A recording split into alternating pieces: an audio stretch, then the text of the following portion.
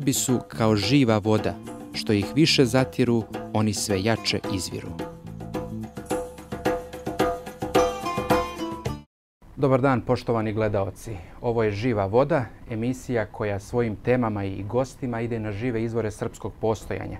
Ja sam Goran Lučić, a ovo je studio Narodne televizije. U današnjoj emisiji naša tema će biti ekumenizam i ekumenska molitva za jedinstvo hrišćana u 2019. godini.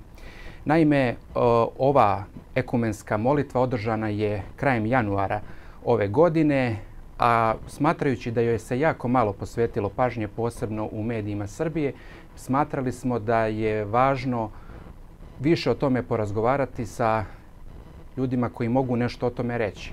U našoj današnjoj emisiji gost je dr. Vladimir Dimitrijević, profesor srpskog jezika i književnosti i pravoslavni publicista. Pošto gospodin Dimitrijević nije mogao da bude u studiju, uspostavili smo jedan video most, jedan video razgovor putem Skype-a, tako da ćemo ovu emisiju tako realizovati. Gospodine Dimitrijeviću, dobar dan i da li me čujete? Čujemo se. Pomaže vam Bog i drago mi je da smo u emisiji. Bog vam pomogao i evo prije svega hvala vam što ste se potrudili da na ovaj način budete naš gost i što ste odvojili svoje vrijeme. E, evo prije svega pitaću vas kako vi komentarišete uh, ovu nastavak ekumenističke molitve, tako da kažem, ili tog jednog uh, sistematskog zagovora jedinstva hrišćana u cijelom svijetu? Ja bih pre svega želeo da napravim razliku između ekumenizma i verske tolerancije ili verske trpeljivosti. Pre svega, srpski narod je vekovima živeo sa drugim narodima i drugim verama i tomu uopšte nije smetalo da ostane svoj na svome, sačuva svoj duhovni verski identitet, ali istovremeno da bude narod koji zaista nikada nije imao u svojoj istoriji prozelitizam kao osnovu svoga postojanja. Znači, Srbi nikada drugome nisu nametali svoju veru, nego su živeli po načelu živi i pusti druge da žive. Znači, biti verski trpeljiv ne znači biti ekumenista. Šta znači biti verski trpeljiv? Ami Bue, jedan francuski putopisac koji je prošao Srbijom u 19. veku, kaže da su Srbi takvi e, da ne žele nikome da nameću svoju pravoslavnu veru, a istovremeno brane ono što je njihovo. I suština je upravo u tome. Znači, mi moramo braniti ono što je naše, a naravno ekumenizam ima neku sasvim drugu nameru i drugi cilj. Glavni cilj ekumenizma je da se uspostavi vidljivo jedinstvo hrišćana bez obzira na istinu. Zato otac Justin Popović, naš sveti čovek, jasno govorio da je ekumenizam jedna velika obmana i da zbog te obmane u stvari mi gubimo onaj osnovni identitet koji je tako karakterističan bio za nas kroz vekove. U tom smislu treba se čuvati zamke. Znači, mi nemamo ništa protiv drugih vera i drugih naroda, I u srednjem veku srpska srednjovekovna država je dozvoljavala na svojoj teritoriji normalno da postoje rimokatolički hramovi i sveštenici, ali je bilo zabranjen, bio je zabranjen prozelitizam, to je prevođenje pravoslavnih u rimokatoličku veru. E, dakle, jedno je verska tolerancija, a drugo je ekumenizam. I u tom smislu tu treba da pravimo razliku. Ekumenizam je u stvari religiozni globalizam čiji je cilj da se svi ljudi ujedine u, u veri bez obzira na istinu. To je projekat koji je napred osuđen zato što gospod Isus Hristos kaže ja sam put, istina i život. Znači, Bog je ljubav, ali Bog je istina. Znači, ljubav koja je istina, to je gospod naš Isus Hristos i u tom smislu a, ekumenistički pokušaj da se ljubav a, razdvoji od istine neuspešan je i štetan. U tom smislu moramo biti svesni da, da ne smemo da podležemo toj nekoj vrsti zablude teološke i svake druge koje nam nameće ekumenizam kao meru i proveru naše crkvene stvarnosti. E, međutim, ovaj ekumenizam koji mi imamo priliku da upoznajemo posljednjih godina više liči na neko gonjenje na ljubav i to na ljubav po svaku cijenu. Inače, ove godine za geslo ekumenske molitve uzeta je, uzet je citat e, teži ka samoj pravdi ili teži za samom pravdom. To su naime katolici sa Filipina odabrali kao važnu misao koja bi trebala da se e, stavi u središte današnjeg svijeta koji se suočava i sa kapitalizmom i sa gubitkom temeljnih, možemo reći, vrijednosti. Kako vi razumijevate ove njihove poruke u smislu, kažem, njihove, u smislu tog ekumenističkog pokreta? Prethodnih godina su bile poruke ljubav nas Hristova obuzima, ne boj se, ali vjeruj i slično. Pa pazite, to su u stvari parole i floskule jednog pokreta koji je već na umoru. Ekumenizam je kao pokret na umoru. Postoje dva tipa ekumenizma. To je protestantski, Svetskog saveta crkava, kako je govorio Lodika Danilo Budimski, Bog da prosti, svetski, kaže, savet crkava pošto je to unapred osuđen projekat na propast, e, to je znači protestantski, ženevski ekumenizam Svetskog savjeta crkava i rimokatolički ekumenizam koji je nastao posle drugog Vatikanskog koncila. Rimokatolici nastoje da nametnu te svoje molitvene osmine za jedinstvo kršćana, da sve hrišćanske zajednice na teritoriji gde su rimokatolici se zajedno mole za nekakav mir, jedinstvo i tako dalje, Ali pazite, to je uzaludan posao. Kanoni pravoslavne crkve jasno zabranjuju molitu sa inoslavnima. Ne zato što mi ima, mrzimo inoslavne, nego zato što imamo sasvim drugačiji duhovni opit. Naše duhovno iskustvo naših svetaca i njihovih svetaca je potpuno različito. Čak i takvi sveci simpatični, po znacima navoda sveci, kakvi su rimokatolički kao što je Franja Asiški, bili su ljudi u duhovnoj samomani, u prelesti. Recimo, Franja Asiški je molio Boga Oca za samo dve stvari. Da oseti ljubav kako je Hristos osetio prema čovečanstvu i da bude tamo posle smrti da je i Hristos. Znači odmah pored prestola Boga Oca. Znači taj čovjek je bio gord, iako je s polja izgledao smiren, jer pravoslavni hrišćani i pravoslavni svetici se nikad za to nisu molili, pošto je običnom čoveku nemoguće, bez obzira koliko je svetac, da oseti punotu božanske ljubavi koju je Hristos osetio prema čovečanstvu. Dakle, čak i kad su simpatični ti likovi iz njihove povesnice svetosti, oni su ljudi u duhovnoj samomanje. A da ne govorimo o svecima po znacima navoda, kakav je Alojzije Stepinac, kome se ove godine, prošle godine slavilo 20 godina beatifikacije, unošenja u rimokatolički kalendar kao blaženo. Upravo zbog tog drugačijeg duhovnog iskustva mi se sa rimokatolicima ne molimo, ni sa protestantima, ali možemo ovako ljudski da sarađujemo sa njima. Sveti Teodosije Kijevo-Pečerski rekao jednu jasnu i lepu stvar, poučavajući jednog svog duhovnog sina. Kaže, ako ti neko kaže i tvoja i moja vera su jednake pred Bogom, kaži mu da to nije istina, jer Bog je jedan i vera je istinita, ono koja je otkrivena kroz Hrista u pravoslavnoj crkvi. Ali ljudima svake vere dužan si da činiš dobro, bez obzira da li su oni katolici, da li su muslimani, da li su jevreji, ti si dužan da budeš dobar prema svakom čoveku, jer je sve nas sazdao gospod i svi smo mi deca Božija. E to je princip pravoslavnog hrišćanskog shvatanja. U tom smislu ja ne bih bio protiv ni saradnje sa katolicima i protestantima u oblasti očuvanja nekih zajedničkih moralnih vrednosti. E, znači mi imamo moralne vrednosti koje treba čuvati u susretu sa bezbožničkim sekularnim svetom. Ali zajedničke molitve tome ne doprinose one e, proističu iz različitih duhovnih iskustava i one zaista nemaju onu osnovu koja bi e, mogla da nas ujedini.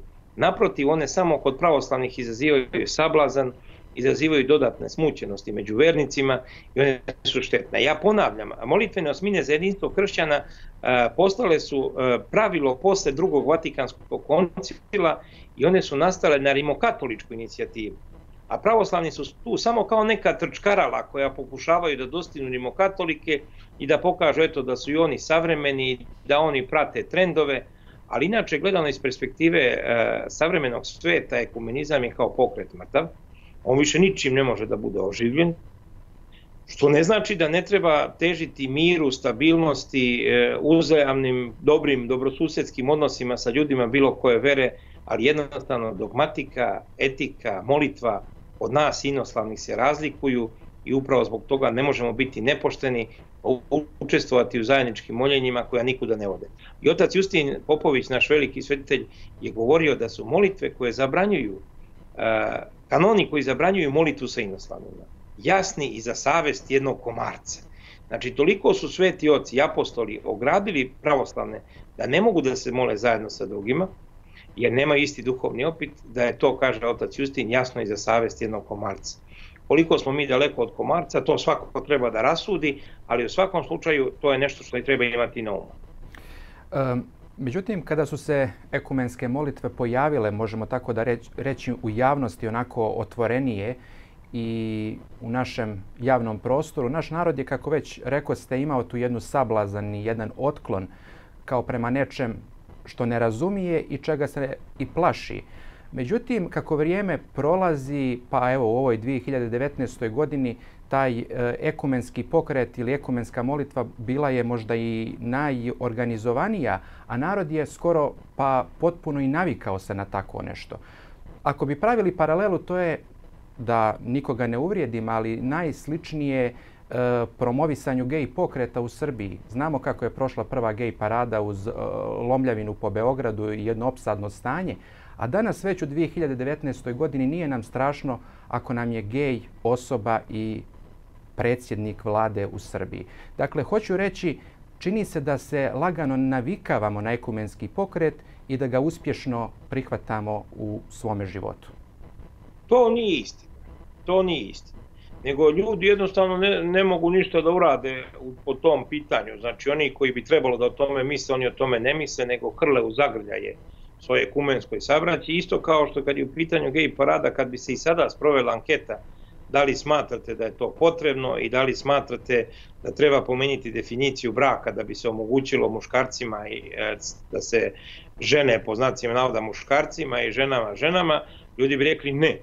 Ali jednostavno ljudi su šta ćete vi kad dovodu 7000 policajaca da to čuvaju? Pa naravno da se navikavate. Mislim, nije da se navikavate, nego živi, živite pod okupacijom i onda je normalno da se to dešava tako kako se dešava. Jer ovde je i taj pokret za prava homoseksualaca kao i ekumenski pokret su utemeljeni u globalističkim strukturama savremenog društva. Globalističke elite to nameću. Homoseksualizam se nameće zarad smanjenja broja stanovnika i izmene moralnog stanja društva, jer kao što rekao veliki američki kulturolog Michael Jones, porodica je poslednja odbrana malog čoveka od nasilja države, a ekumenizam se nameće kao religiozni globalizam, da ljudi svi treba da izgube svoje duhovne identitete i da im glavna religija bude e, globalna religija novca, ekonomije. Nije ni malo slučajno da su Rockefelleri među glavnim sponsorima ekumenizma, o čemu sam ja svoje vremeno radio intervju sa našim uglednim politikologom Slobodanom Jankovićem. Znači, Rockefelleri od samog početka podržavaju ekumenski pokret. A zašto? Zato što im je cilj da obezliče čitavu planetu i da u toj, u toj obezličenosti ostvare svoje ciljeve. Globalni cilj e, svih tih koji rade na ekumenizmu, koji menjaju i moralno relativizuju stavove većine, je dovođenje poslednjeg lažnog mesija u zlu ujedinjenog čovečanstva koji se zove Antihrist. O tome je veliki ruski filosof Vladimir Solovjov pisao u svojoj knjizi Tri razgovora, to je njegova posljednja knjiga. Inače, on je u mladosti isto bio sklon ekumenizmu i ujedinjenju pravoslavljima katolicizma, ali u toj posljednjoj knjizi on govori o tome da će se Antihrist pojaviti negde u 21. veku kao globalni mirotvorac koji će biti mesija svih religija. U tom smislu ekumenizam ide u tom pravcu, ali verujte, kogod se ozbiljno bavi ekumenizmom vidi da je ekumenizam se ugušio, da čak ni papa američki koji je nedavno postavljen Franjo koji već godinama iznutra razara rimokatolicizam sa svim svojim ekumenskim poduhvatima više nije popularan i da je jednostavno u pitanju pokret koji nema nikakvu budućnost. Naročito posle ovoga što se desilo na Ukrajini, to će se jasno vidjeti jer Ruska pravoslavna crkva je skupila iz svih e, komisija u kojima je Carigradska patrijaršija kao uzurpatorska na teritoriji Ukrajine, e, dakle neće učestvovati ni u jednoj teološkoj komisiji, a glavna teološka komisija i koja je nanosila najveću štetu i opasnost pravoslavnoj crkvi, to je komisija za dijalog između pravoslavnih rimokatolika, koju je do sada predvodio e, taj titularni mitropolit Pergamski carigradske patrijaršije Jovan Zizjulas. To je sve puklo. Ruska crkva u tome više neće učestvovati, kao što je odbacila i lažni kritski sabor, i zbog toga ovo što se desilo na Ukrajini, koliko god da je strašno, a strašno je, jer ono što je Cargatska patrijaršija uradila, to je udar na jedinstvo pravoslavlja kakav nismo videli 1054. godine. Koliko god da je to strašno, to je ipak u jednom smislu i dobro, jer ekumenizam time dobija dodatni udarac od koga će se teško oporaviti. Um, pomenut ćemo još kasnije Ukrajinu i uh, taj jedan značajan, možda i najveći raskol koji se desio u novom vremenu u pravoslavnoj crkvi. Ali da se vratim još na ekumenizam. E, kada je u pitanju ekumenizam u srpskom narodu, on je naj, možemo reći, probitačniji na prostorima Bosne i Hercegovine i Hrvatske. A ove godine on je sistematski organizovan e, u svim episkopijama naše crkve na tom prostoru za prostor Hercegovačke episkopije, odnosno Zahumsko-Hercegovačke i Primorske, glavna ekumenska molitva je bila u sabornom hramu blagovještenja u Dubrovniku. Potom e, mitropolit Dabrobosanski služio je ekumensku molitvu u Sarajevu. E, ekumenska molitva bila je u katedrali u Splitu, zatim u Sabornoj crkvi preobraženja gospodnjeg u Zagrebu, potom u katedrali u Daruvaru, ali ono što je bilo najznačajnije to je susret e, svih episkopa Srpske pravoslavne crkve na prostoru Hrvatske sa biskupima u Požegi u njihovom biskupskom dvoru i tom prilikom oni su dali jednu zajedničku izjavu koja je onako vrlo zanimljiva. Evo ako dozvolite ja ću samo kratko pročitati šta su uh, potpisali uh, episkopi Srpske pravoslavne crkve sa prostora Hrvatske sa biskupima, a prisustvovali su mitropolit Zagrebačko-Ljubljanski Porfirije Perić, episkop Gornjo-Karlovački Gerasim Popović, episkop Slavonski Jovan Ćulibrk, episkop Dalmatinski Nikodim Kosović i episkop Osječko-Poljski i Baranjski Heruvim Đermanović. Citiram, mi, katolički biskupi i episkopi Srpske pravoslavne crkve u Hrvatskoj, na poziv požaškog biskupa Antuna Škvorčevića susreli smo se u biskupskom domu u Požegi 17. siječnja 2019. E, godine u Božićnom ozračju pred početak svjetske molitvene osmine za jedinstvo hrišćana.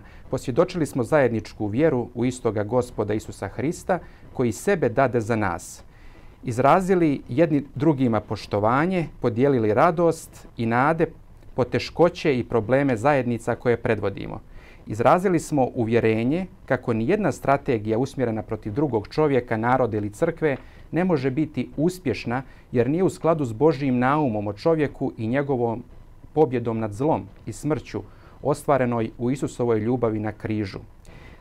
Spomenuli smo teška stradanja srpskog i hrvatskog naroda te drugih građana Hrvatske tijekom nedavne prošlosti u ratnim sukobima, progonima i ubijanjima uzrokovanim mržnjom. Svjesni smo da međusobnim optužbama, manipuliranjima, povijesti, interpretacijom ratnih događaja za dnevno političke svrhe, vrijeđanjem i ponižavanjem zbog pripadnosti određenoj naciji ili vjeri, ostajemo zarobljenici prošlosti i gubitnici sadašnjosti. Zauzimamo se da se znanstveno istraže argumenti i utvrdi istina o stradanju za vrijeme drugog svjetskog rata i u vrijeme rata u Hrvatskoj kako bi se prestali licitirati s brojem stradalih te im vratilo dostojanstvo koje imaju kao žrtve. Naravno ima i ostatak teksta, ali evo ja ću ovdje se zaustaviti sa posebnim naglaskom na ovom insistiranju da se utvrdi tačan broj žrtava u drugom svjetskom ratu, sigurno misleći i na Jasenovac i Jasenovačke žrtve. Kako to komentarišete? E, ja se potpuno slažem da treba živeti u miru i dobro susjedstvu, a što se tiče broja žrtava, evo, Jevrijin, vrhunski stručnjak za holokaust, Ideon Grajf objavio knjigu o tome. E, u toj knjizi jasno, lepo i glasno rekao da su nacisti, ustaški, hrvatski, 800.000 Srba pobili u kompleksu logora Jasenovac, 40.000 jevreja i da su zločini koji su u Jasenovcu počinjeni najstravičniji u drugom svetskom ratu. Oni kažu, jeste ubijeno, e, Gideon Grajf kaže, više ljudi ubijeno u Auschwitzu, ali ubijanje u Auschwitzu je bilo zastrašujuće industrijsko. Tamo te uvedu gasnu komoru, puste gas i ubiju te. A ovde je bilo 57 načina najužasnijeg zverskog mučenja i ubijanja. Dok su nacisti koristili logoraše i za izvesne fizičke poslove uh, u uh, nezavisnoj državi, državi Hrvatskoj boravljenje u logoru imalo je samo za jedan cilj najmonstruozniju smrt onih koji su logor dovedeni. Prema tome, što se licitiranja sa brojem tiče, jasno je da objektivna nauka kaže kakav je to broj, a što se tiče onih koji pokušavaju da taj broj smanje, revidiraju i tako dalje, to ide na njihovu savest i na njihovu dušu. Mi jako dobro znamo šta su Srbi preživjeli u nezavisnoj državi Hrvatskoj i stvari u tome što Hrvati nikada ne mogu uh, da se oslobode svoje fascinacije ustaštvom. Jer koliko god pokušavali da se odmaknu od ustaštva, oni se stalno sa njim poistovećuju.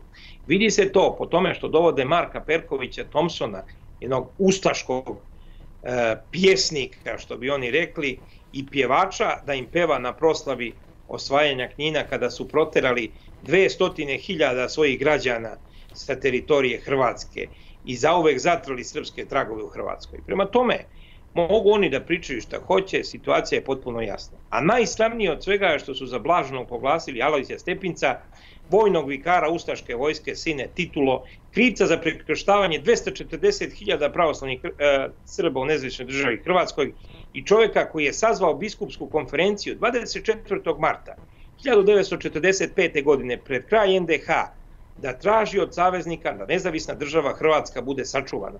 Nosioca najviših ustaških odlikovanja, blagoslovitelja molitvenika hrvatskih vojnik koji je njegov pomoćnik Vilim Cecelj izdao gde se nalaze molitve ne samo za poglavnika, nego se kao uzor junaka ističe krvavi zločinac Jure Francetić, komandant Crne legije, koji je zavio u crno-istočnu Bosnu s 6000 ljudi i pobio 42. godine.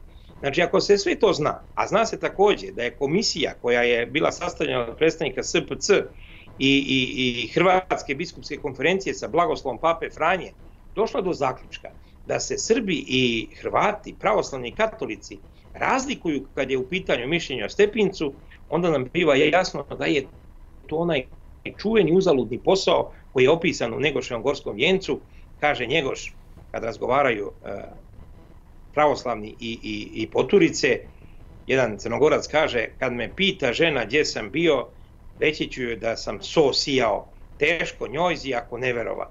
Ekumenistički dijalog pravoslavnih rimokatolika liči na sejanje soli, A ako znam ulogu papizma, unijatstva danas na Ukrajini, gde su unijati glavni ukrofašisti, oni koji su doveli Ukrajinu ovo stanje, gde su neposredno povezani sa svakim ratom protiv pravoslavnih na Ukrajini, onda nam biva jasno da sve te vatikanske priče su samo jedna bajka za malu decu, a ko želi da veruje u bajke može, ali ne mora ostale da primorava da u to veruje.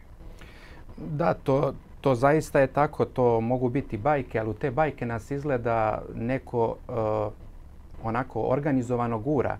Ekumenizam u srpskom narodu zaista izgleda kao jedno gonjenje na prisilnu ljubav. I ako se toj ljubavi suprotstavite, vi ste jednako opasna meta vašo, vašim, vašim poglavarima ili vašim sunarodnicima kao dojučerašnji neprijatelj. Dakle, radi se o jednom novom raskolu koji se javlja u našem narodu. Pa hvala Bogu, ja sam izraziti protivnik svakoga raskola, jer Srpska pravoslavna crkva mora čuvati svoje jedinstvo. Uzor nam uvek može biti Sveti Justin Ćelijski, koji iako bio najžešći protivnik ekumenizma, nikada nije napustio Srpsku pravoslavnu crkvu, nego se u okviru crkve borio protiv ekumenizma kao ideološke laži našeg doma. Sveti starac Kleopa Rumunski, koji je posjetio oca Justina, jer nije više mogao da živi u komunizmu, bilo mu jako teško u Čaušeskovoj Rumuniji, hteo je da ode na Svetu Goru, da se skloni jednostavno, da živi u molitvenom tihovanju. Došao je ipak, pošto svaki sveti starac ne vozi se što kaže narod iz svoje glave, nego želi da popriča, da se posavetuje. Došao je kod oca Justina u Ćelije i pitao ga, oče, želim da odem na Svetu Goru, šta mi vi predlažete?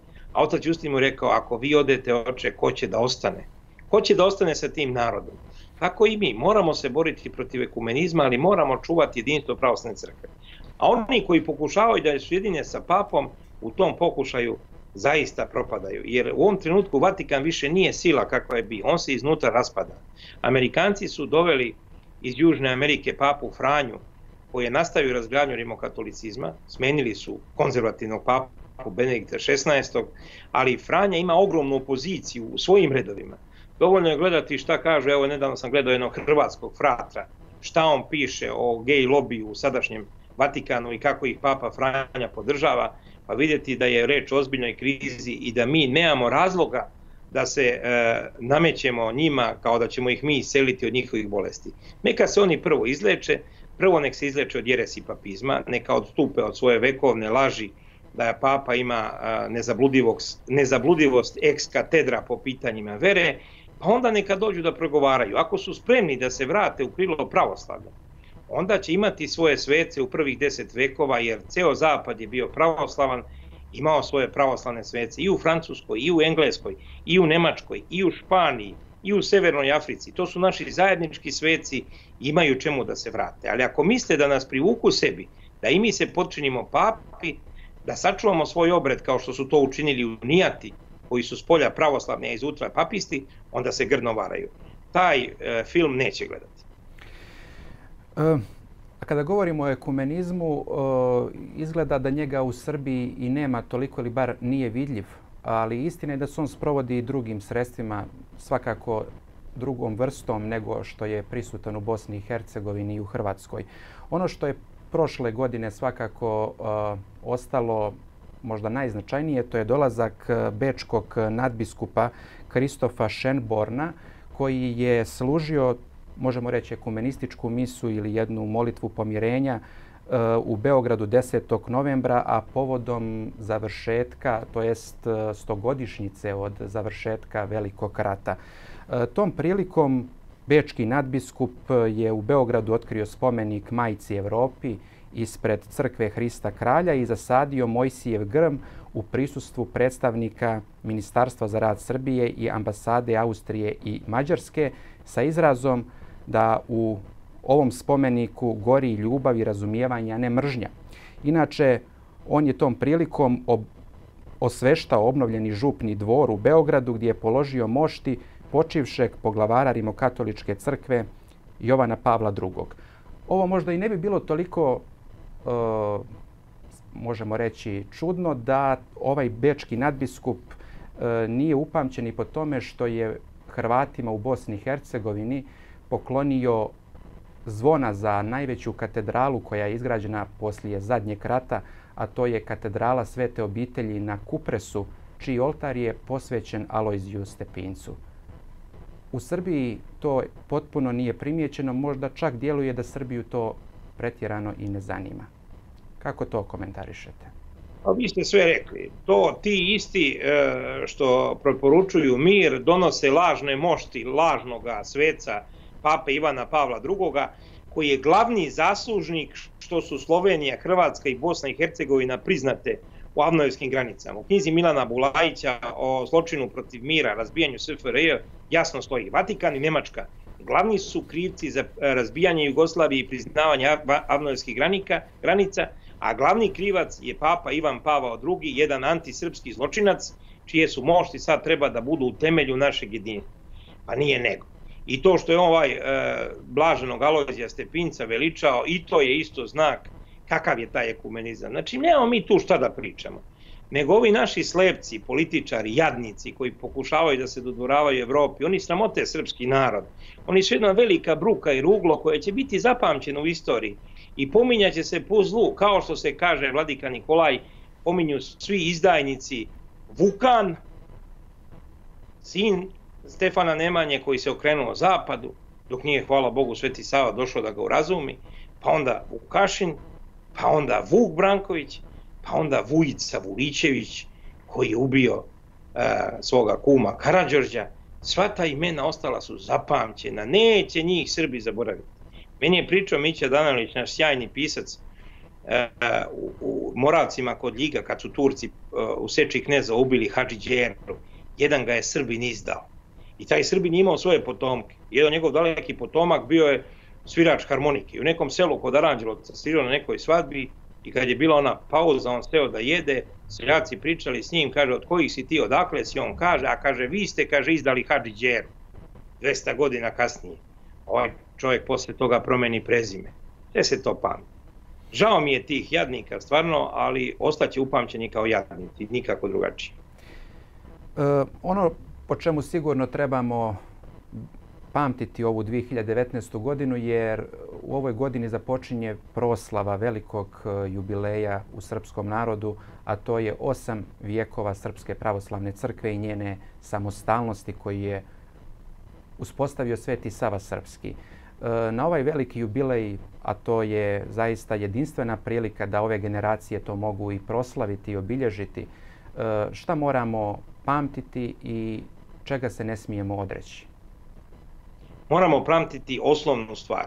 1221. na saboru Žiči Sveti Sava je po drugi put krunisao svoga brata Stefana. On je prvi put bio krunisan papinom krunom, jer u onom vreme papa je bio ono što je sad Brisel i Washington, i on je 1217. primio papinu krunu. A onda ga je Sveti Sava ponovo krunisao pravoslavnom krunom i zakleo svoj narod da drži pravoslavnu veru. Tri puta su zajedno ponavljali simbol, simbol vere bez filiokve i pozvao ih je Sveti Sava da drže veru čistu i molitu čestu da savršen bude čovek Boži.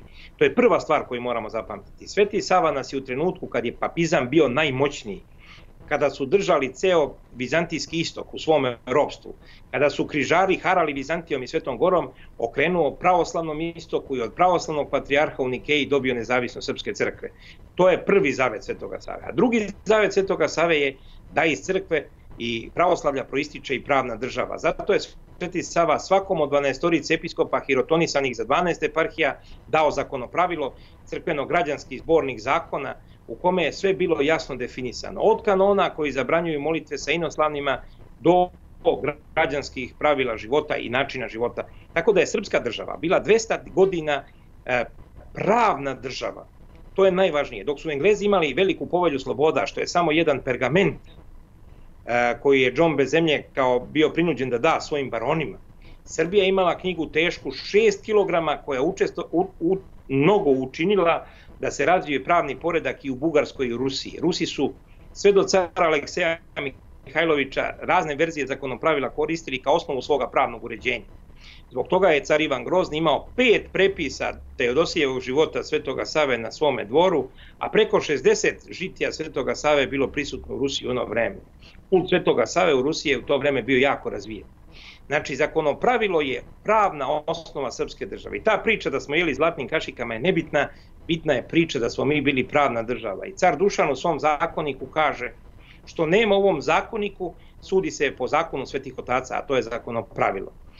Car Dušan je takođe uveo apsolutno nezavisno sudstvo, rekavši da sudije moraju da sude nezavisno od cara i po zakonu. Prema tome moramo obnoviti veru čistu i molitvu čestu i pravnu državu da bismo proslavili 800 godina autokefalije Srpske crkve, najstarije institucije srpskog naroda koja nas hrani i brani. Jer, kao što je govorio vladika Nikolaj, svetosavlje, to je pravoslavlje srpskog stila i iskustva, to nije nacionalna crkva, to je nacionalna crkva, a ne nacionalna vera. Znači, mi nemamo nacionalnu veru, nego zajedničku veru sa svim pravoslavnim narodima. Ali zato imamo nacionalnu pomesnu crkvu koja nas hrani i brani na ovoj balkanskoj vetrometini i čuva naš identitet od svih iskušenja.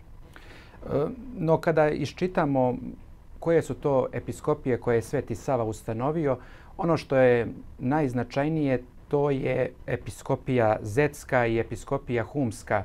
E, u Zeti, današnjoj Crnoj Gori, sjedište Savine episkopije na Miholjskoj prevlaci manastir Svetih Arhangela je neobnovljen, a srpski narod je možda danas i najteže gonjen na tom prostoru. S druge strane, u Humu, današnjoj Hercegovini, Srba već odavno nema na Pelješcu i u Stonu, gdje je bio manastir presvete Bogorodice Stonske kao sjedište ove temeljne episkopije u našoj crkvi. Dakle, e, Srbi se povlako progone ili sužavaju sa Primorja i sa e, Srpskog mora i ponovo se gone u planine Rasa i Staroga Vlaha. Tome se ne treba čuditi. Mi se nalazimo kao glavna prepreka širenju rimokatolicizma na balkanskom prostoru i Vatikan nam to nikad nije zaboravio. Uh, jedan uh, papistički legat koji je vršljao po našim prostorima gdje u 16. 17. veku rekao je da su Srbi sono inkonvertibili, znači neobrativi u papizam. I to je velika istina. I zato sad ta borba koja se vodi u Hercegovini i u Crnoj Gori nije mala borba, ali ja sam uveren da će srpski narod, junački, herojski, hrišćanski, podvižnički, izdržati na tom prostoru i odoleti svim iskušenjima. Jer mi smo istorijski narod. Narod koji je živeo po načelu zapisanom jednoj pesmi Jovana Dučića. Pre svačiji sužnji, no i čije sluge. Bili smo robovi koji su dizali ustanke, ali nismo bili ničije slugeranje, nismo menjali identitet, koji su menjali identitet, oni su postavili nešto drugo. Kao jednoj sjajnoj pesni Rajka Petrova Noga koja se zove Kolenović. A Rajko Petrov Nogo kaže e, ovako, za svoju gospodu, molih se gospodu, pa sad gledam stišanca krsta u nišan. E, moj kamen malen, moja raka plića, ja nisam od Ića, od Kolenovića. Juče je za juče, a danas za danas. Spasioci uče šta je bolje za nas, koji brzo uče, prvi se poturče. Mi tu veru e, brzog učenja evrointegracije asimilacija, integracija sa Vatikanom, nećemo da primamo, nećemo da učimo i trudit ćemo se na svaki način kao i do sada da sačuvamo svoj identitet, a Srpska pravoslavna crkva je upravo brana tog našeg identiteta. E, evo, da ne mogu, ne mogu da vas ne pitam povodom ovog raskola u Ukrajini.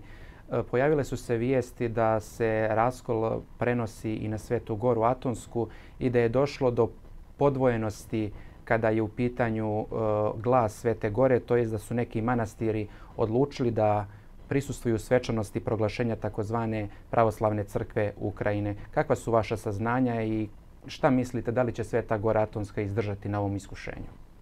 Sveta Gora nije priznala stvaranje raskolničke strukture koja nije nikakva crka nego razbojnička banda koju je po znacima navoda blagoslovio NATO sluga Vartolomej Arkondonis, e, sadašnji patrijarh Carigradski.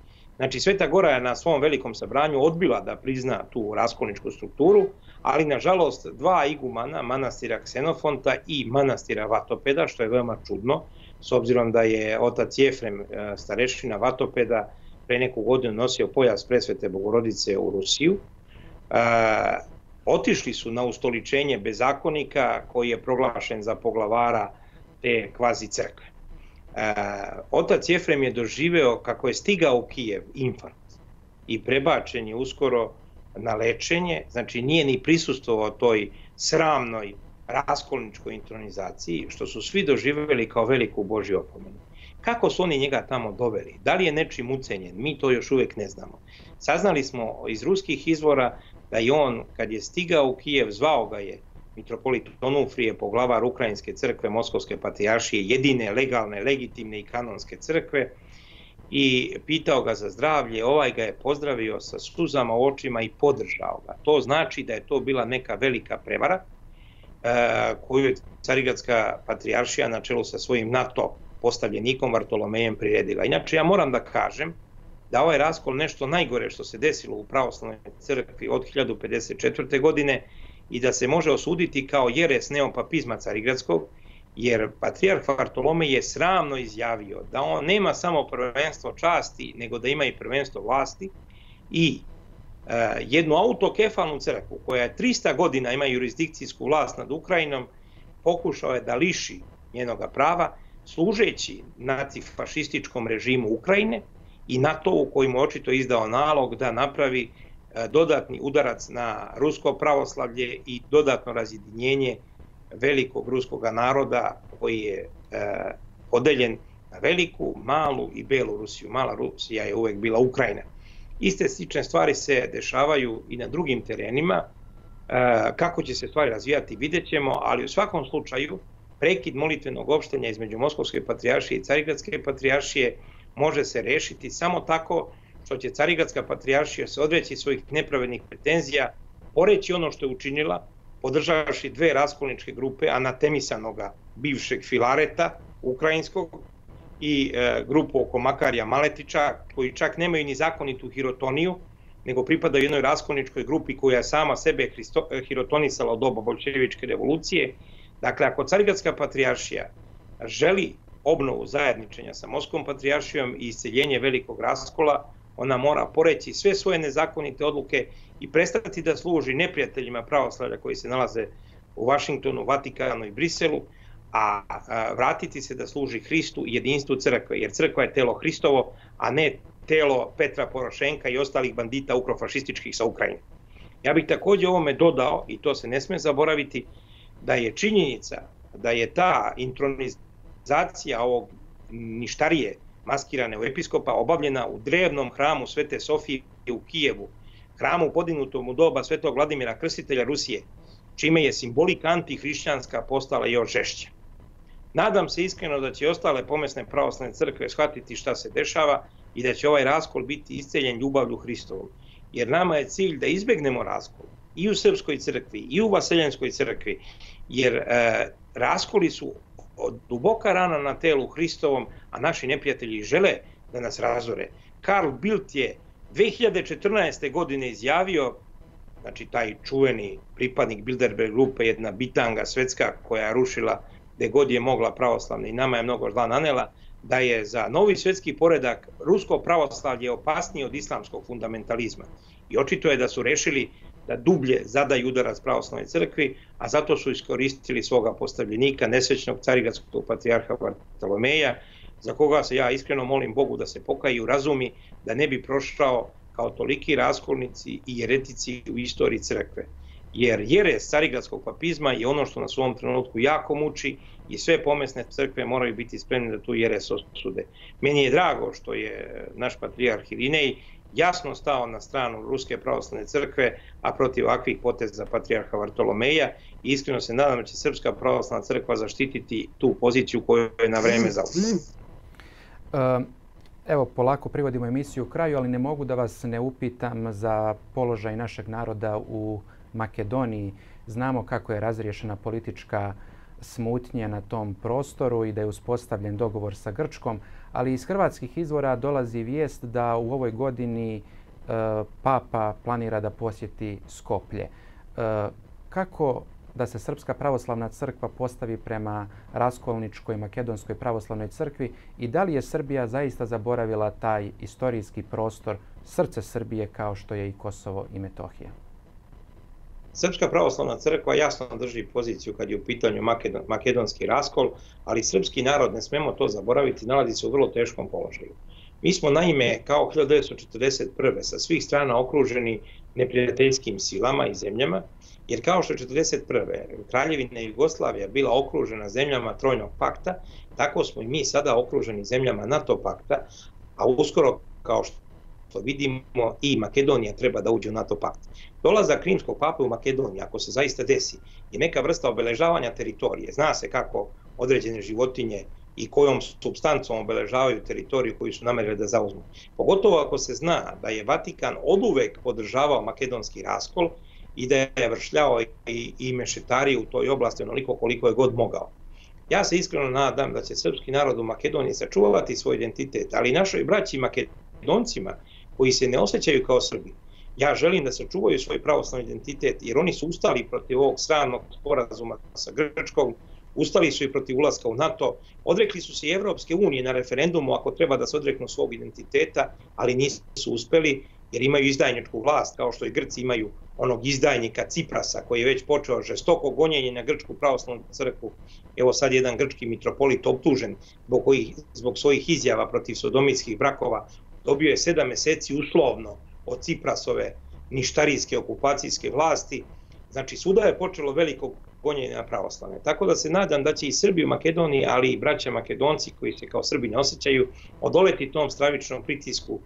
A što se tiče raskola, iskreno verujem u gospoda da će se oni seliti razumom i ljubavlju. Ako do isceljenja raskola ne dođe, mi ćemo imati jednu tragičnu situaciju, ali Bog je svemoćan.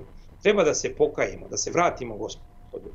Svi pravoslavni narodi u Srbiji, kao što vidite, narodi u teškom stanju, ljudi se sele ili umiru, neki idu van zemlje, neki idu pod zemlju. Ispunjavaju se proročke reči svetog vladike Nikolaja u pesmi Nebeska liturgija, tesna groblja, a malo grobara. Grobarima otežaše ruke. U tom i takvom vremenu jedino što nam je ostalo je duboko pokajanje. Ja svima preporučujem da pročitaju nebesku liturgiju svetog vladike Nikolaja, da se vratimo Hristu i Svetome Savi, da nas, kako reče sveti vladika Nikolaju rečima srpskom narodu kroz tamički prozor, ne pokrije jeziva tama tuđinska sa lepim imenom i šarenom odećom. I ne smemo da zaboravimo pesmu vladike Nikolaja, budi hrabar i slobodan, reče gospod Navinu, ja ću za te vojevati, samo drži istinu. Istina je što ljudima evanđelje kazuje, ko istinu krepko drži nad zlom svaki kim caruje. Istina je sa slobodom neraskidno vezana. Obojima jedna pesma od Srba od Srba je spevana. Za krš časni i slobodu, to je srpska lozinka. Bez to dvoje, život što je, Srbi nema počinka. Za krš časni i slobodu, Bog ti izbori Srbine. Ja sam s tobom, budi hrabar, samo drž se istinu. Amin, neka tako bude. A evo za kraj moje posljednje pitanje vama. Znamo da je u Srbiji velika smutnja po pitanju odnosa prema Kosovu i Metohiji i da se u narodnom periodu priprema e, neka politička, e, zakulisna ili već javna, e, javni transfer tog, tog, tog pitanja. pitanje je kako će biti riješeno, da li će zaista doći do neke vrste izdaje. Šta nam možete poručiti kako da se postavimo prema Kosovu i Metohiji? Srpska pravoslavna crkva je 2017. izdala dva saopštenja Arhirejskog sabora u kome je rekla da se Kosovo ne sme ni prodati ni predati.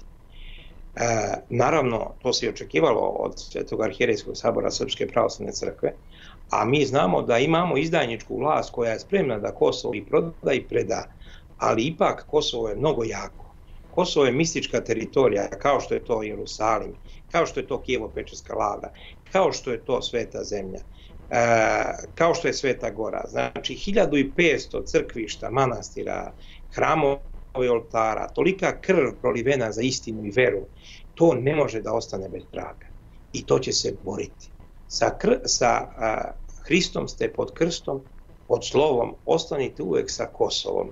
I nemojte da vam srce zebe, Kosovo će odbraniti sebe, kaže jedan savremeni pesnik.